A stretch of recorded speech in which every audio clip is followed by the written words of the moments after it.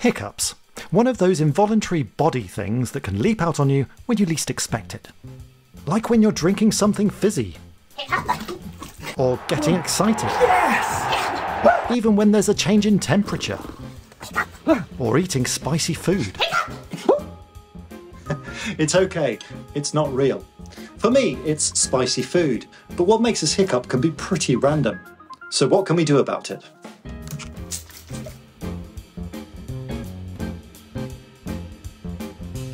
First, what actually happens when we hiccup? Hiccups are described as a, a form of reflex motor activity. So, we, when we say reflex, we mean things like if you tap your knee with a hammer and your um, leg flies up. And all reflexes, they have, um, they're like a circle. So, you have information coming in, and that causes the muscle to contract. So one of the interesting thing about things about hiccups is that we understand quite well the outwards part of the reflex. So we understand what what muscles contract. So it's the diaphragm, but some other muscles um, as well in in the chest wall. But actually, what triggers that is much less well understood. More from Kim in a minute on her research that connects hiccups with baby development.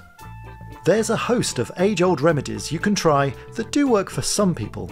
They include pull your knees up to your chest and lean forward. Sip ice cold water. Swallow some granulated sugar. Hold your breath for a short time. Bite on a lemon or taste vinegar. There is one technique that's been medically proven to work a digital rectal massage. And no, it's not a phone app.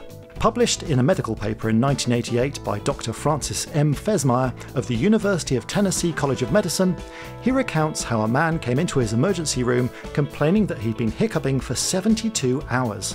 After methods such as making him gag and compressing his eyeballs failed to work, Dr. Fesmire then remembered reading about a case where a digital rectal massage inserting a finger into a patient's bottom, had slowed someone's racing heartbeat, an effect similar to prolonged hiccups.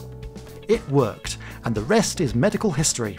In fact, sex, leading to an orgasm, has a similar and possibly more enjoyable effect. But there's still some mystery around why humans hiccup in the first place. Back to Dr. Kim Whitehead. When I was working at UCL um, in Lorenzo Fabrizi's team, I was actually working on a project about the sense of touch. So, how does the sense of touch develop in babies? And I spent a lot of time by the cot side of babies, talking to their parents, working with the babies, and doing my research studies. And what I noticed was this absolutely enormous amount of time that they spend hiccuping. And I would mention it to the parents, and they would say, "Yeah, it's it's it's like phenomenal," and nobody else seemed to think it was of interest. And so, because we were already recording these brain waves from the babies it seemed a natural thing to just have a look. What, what does it do to their brain when they do have these hiccups? The team used EEG to look at the baby's brainwaves using a sensor cap that sits comfortably on the head. The babies can even sleep while wearing it, while the researchers record brain activity changing millisecond by millisecond. We knew already that when babies move their limb muscles, when they move their arms and legs, we think it has a role in brain development because we see these special brain waves that we only see immediately after the, the movement in particular areas of the brain. And we think that relates to how they form a map of their body so it helps them when they want to move around and when they grow up.